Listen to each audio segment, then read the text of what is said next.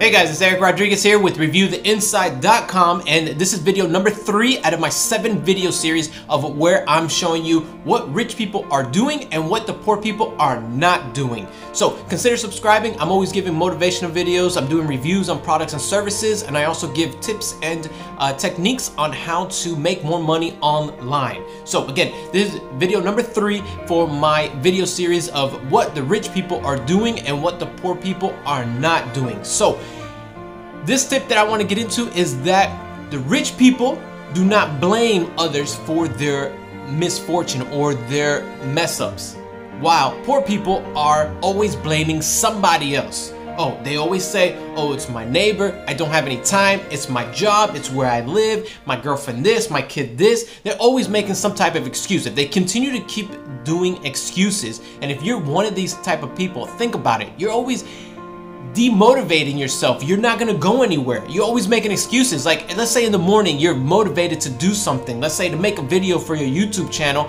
and then while the day goes on, you're like, oh my god, I'm tired, or I wanna go to the movies, or no, this, my girlfriend wants to do. No, no, no. You gotta get all that out, and you stop making excuses and continue to go. And if you do make a mistake, learn from it. Don't ever lose. You learn or you win. Point blank. You never lose. You learn or you win.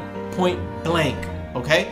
So think about that. Stop making excuses. Poor people always find an excuse for something and they never get anything done. Rich people, they make a mistake. They're like, damn, how did I make this mistake? How can I improve it and not make the same mistake again? Get results. Remember,